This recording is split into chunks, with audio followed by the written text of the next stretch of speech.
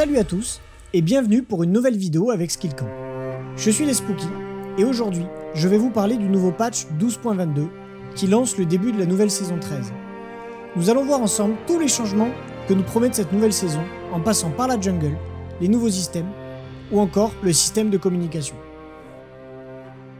Sans perdre de temps, commençons directement avec le retour de votre dragon préféré, le dragon technico-chimique. Après l'avoir tué, ce dragon vous donnera 5% de ténacité et 5% d'efficacité des soins et boucliers. L'âme technochimique vous offrira un buff de 10% de résistance aux dégâts et 10% de dégâts supplémentaires quand vous aurez moins de 50% de vos PV. La map sera aussi modifiée avec des changements concernant les plantes de la jungle. Les fruits vous donneront toujours autant de soins, mais en plus de ça, un bouclier temporaire qui ne vous ralentira pas. Les pommes de pin explosives vous pousseront beaucoup plus loin, de telle sorte à créer des possibilités de jeu intéressantes comme un style de Drake ou un dive surprise. Quant aux fleurs de vision, elles vous donneront une vision pure dans une zone de 360 degrés et vous gagnerez un boost de vitesse de déplacement dans la direction de la plante. Passons au plus gros changement du patch, les modifications de la jungle. Désormais, dès que vous prendrez un smite, vous aurez la possibilité de choisir un compagnon qui vous suivra partout durant la partie. Ces compagnons vous aideront à farmer les camps de la jungle avec une attaque par seconde en zone en fonction de vos HP bonus, de votre puissance et de vos dégâts d'attaque totaux. Une fois que vous arrêterez d'attaquer un camp, votre compagnon mettra deux autos supplémentaires avant d'arrêter lui aussi. Cette mécanique de jeu remplace en quelque sorte l'ancien saignement de l'item jungle. Pour chaque attaque de votre compagnon, ce dernier vous rendra des HP à hauteur de 70% des dégâts qu'il aura fait. Comme l'ancien item jungle, le compagnon vous rendra du mana en fonction de votre mana manquant. Tel un Pokémon, votre compagnon pourra évoluer et cela se fera grâce à un système de casse-croûte. Le fonctionnement est plutôt simple. Pour chaque grand monstre tué, vous donnerez un casse-croûte à votre compagnon. Pour compenser les différences de vitesse de farming entre les champions, et notamment ceux qui voudraient gank plutôt que de farm, Riot a mis en place un système de casse-croûte bonus, que vous gagnez toutes les 60 secondes. Ce casse-croûte bonus sera stocké et utilisé lorsque vous tuerez le prochain grand monstre. Votre compagnon gagnera donc 2 casse-croûtes et un bonus de 50 gold à la place de 1 en temps normal. Votre compagnon commencera la partie avec un besoin de 40 casse-croûtes, il évoluera une première fois après 20 casse-croûtes et son évolution finale après avoir mangé les 40 casse-croûtes. Votre smite aura aussi le droit à des évolutions, qui auront lieu en même temps que votre compagnon. À l'achat de l'œuf, votre smite fera 600 dégâts bruts sur les monstres et vous n'aurez pas la possibilité de l'utiliser sur les champions. Après la première évolution, les dégâts passeront à 900 dégâts bruts, il pourra alors être utilisé sur les champions et aura les mêmes effets que l'ancien Blue Smite. Un ralentissement et des dégâts bruts supplémentaires. Après l'évolution finale, les dégâts passeront à 1200 dégâts bruts. Il pourra toujours être utilisé sur les champions, et en plus de ça, le joueur recevra un effet bonus en fonction du compagnon choisi en début de partie. Concernant les passifs des compagnons, le courage d'Ixamandre vous donnera un bouclier de 70 à 330 PV selon le niveau, après avoir vidé un camp de monstres ou après 10 secondes sans combattre. Ce bouclier durera indéfiniment. Les joueurs gagneront alors 20% de ténacité et de résistance au ralentissement tant que le bouclier sera présent et pendant 3 secondes après sa destruction. Griffure de Chardon vous permettra de cumuler 3 effets braise toutes les 0,5 secondes, et sans effet braise à chaque élimination d'un grand monstre. À sans effet braise, les prochains dégâts que vous infligerez à un champion ennemi ralentiront de 30% tous les ennemis dans un rayon de 250 unités qui diminuera en 2 secondes. Vous infligerez à la cible principale des dégâts brûlures équivalents à 5% des PV max de la cible sous forme de dégâts bruts en 4 secondes. Pour finir, Cadence de saute nuage vous donnera 45% de vitesse de déplacement quand vous entrez dans les hautes herbes. Ce bonus diminuera en 2 secondes quand vous quitterez les hautes herbes. Le bonus passera à 60% pendant 2 secondes quand vous aurez tué un grand monstre. Trois changements mineurs toucheront les camps de la jungle.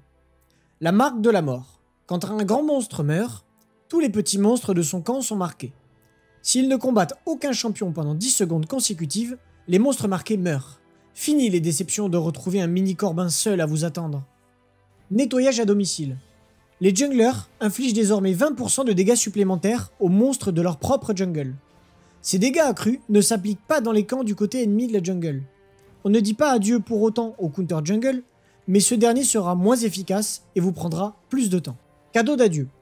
Quand il meurt, tous les grands monstres rendent désormais des PV en fonction de vos PV manquants et du mana en fonction de votre mana manquant. Pour les jungles uniquement. De quoi vous permettre de garder un montant d'HP intéressant pour pouvoir gank par la suite. Que vous soyez jungle ou laner, fini les tags sur les autres lanes. À partir de maintenant, les junglers ne recevront que 75% de l'XP jusqu'à la première évolution de leurs compagnons, sauf en cas de retard sur la moyenne des niveaux des autres joueurs. En compensation, les junglers recevront 15 d'XP supplémentaires venant des grands monstres de la jungle. Côté laner, vous recevrez 15 gold de moins sur les grands monstres de la jungle, et l'expérience octroyée aux non-jungle pour tous les grands monstres a été réduite de 15 XP, à l'exception de l'ancêtre Krug, 12 XP. Toujours concernant nos amis de la jungle, il y a quelques changements. Tous les monstres feront moins de dégâts, mais auront plus d'HP. Le clear sera donc un peu plus long, mais moins punitif. Vous trouverez aussi trois modifications mineures. Monsieur le Gromp qui ne vous donnera plus d'HP et de mana comme avant, mais respectera la règle du cadeau d'adieu, comme ses collègues des autres camps de la jungle. L'ancêtre Golem qui se divisera en 4 mini Krug et non plus en 2 moyens Krug. Vous gagnerez donc un temps non négligeable sur le temps de clear. Et pour finir, le Jean-Michel Crapaud national qui perd son shield et qui apparaîtra maintenant à 3 minutes 30. La patience des monstres fait partie des gros changements. Fini les doubles camps, les zones de tilt des camps des jungles ayant été fortement réduites. Bleu Gromp, Bleu Loup ou encore Corbin Red ne se feront plus en une seule fois. Vous verrez maintenant apparaître au sol la zone de tilt du monstre lorsque vous vous en rapprocherez. Pour faire tilt un monstre, il faudra que vous soyez vous et le monstre en dehors de cette zone. Pour faire tilt le monstre, il faudra que vous soyez vous et le monstre en dehors de cette zone. Les monstres pourront regagner de la patience au bout de 2 secondes. Il y a deux types de tilt, le tilt partiel et le tilt complet. Lors du tilt partiel, le monstre retourne lentement à sa place initiale et regagne 6% de ses PV max par seconde. Le tilt partiel dure 6 secondes et vous pouvez récupérer l'aggro du monstre en rentrant dans la zone de tilt à nouveau pour casser ce tilt partiel. À la fin des 6 secondes, si l'aggro n'a pas été récupéré, le monstre récupère la totalité de ses HP et retourne à sa position initiale. Il existe toujours donc un tilt, mais il sera beaucoup moins punitif. Toujours dans la catégorie des monstres de la jungle, le Herald subit quelques changements. Le gain d'XP a été augmenté et les dégâts de la première charge ont été réduits de 2000 à 1500.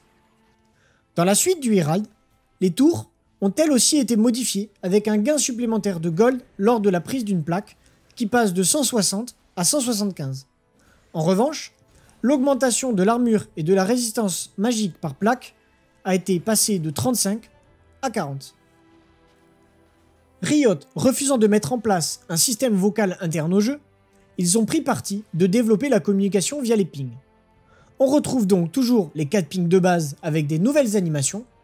Repli, j'arrive, aidez-moi et ennemi disparu. Et l'arrivée de 4 nouveaux pings, avancez, à l'attaque, tenez bon, attirez-les. Vous retrouverez aussi les pings complémentaires au manque de vision avec les pings vision dégagée et besoin de vision. Le grand plus concerne les pings sur la vision. Le ping besoin de vision laisse un petit indicateur qui persiste pendant une minute ou jusqu'à ce qu'une balise soit placée à proximité. Vous ne pouvez avoir qu'un seul indicateur actif à la fois. Si vous lancez un autre signal, il remplacera le précédent. Le ping ennemi vision, quant à lui, laisse aussi un petit indicateur si vous voyez qu'une ward a été posée et affiche même le temps restant sur cette ward. Si c'est une control ward, il n'y aura pas de compte à rebours. Toujours dans le but d'améliorer la communication et les prises de décision en solo queue, vous trouverez des votes pour les objectifs. Elles fonctionnent comme un vote de reddition. Désormais, tous les joueurs peuvent voter et indiquer s'ils veulent ou non prendre ou contester cet objectif. Le vote du jungle vaut 2 voix et un total de 4 voix pour ou contre emporter la décision. On passe maintenant aux items.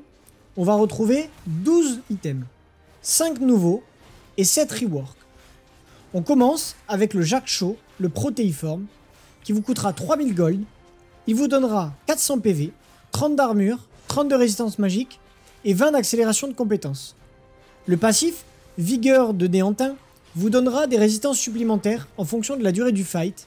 Une fois stacké, vous drainerez 3% de vos PV max aux ennemis proches et augmenterez votre résistance de 10%. Le passif mythique vous donnera 5 d'armure et 5 de résistance magique. Vertu radieuse. Il vous coûtera 3000 pièces d'or, vous donnera 400 PV, 30 d'armure, 30 de résistance magique et 20 d'accélération de compétences. Sa propriété passive, lumière directrice, vous fera gagner 10% de vos HP max pendant 9 secondes et vous donnera de l'accélération de compétences à tous vos alliés et vous soignerez. La propriété passive, quant à elle, vous donnera 100 PV. En troisième item, on retrouvera Cœur Acier, qui vous coûtera 3200 gold. Il vous donnera 800 PV, 200% de régénération des PV et 20 d'accélération de compétences. Sa propriété passive, consommation colossale, aura un fonctionnement similaire à la rune de la poigne de l'immortel, mais en plus puissant.